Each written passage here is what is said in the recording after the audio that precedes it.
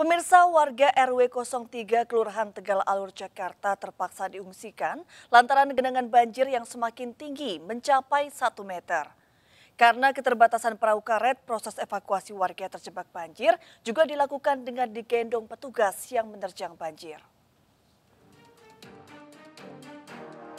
Petugas dari Pemkot Jakarta Barat berupaya mengevakuasi warga yang terjebak banjir di Jalan Lingkungan 3, Kelurahan Tegal Alur. Petugas terpaksa menggendong warga karena keterbatasan jumlah perahu karet yang berada di lokasi.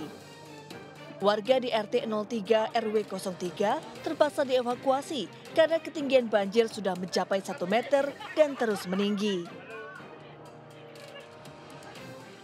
Ya curah hujan lebat, lama, bisa dari kali juga dangkal.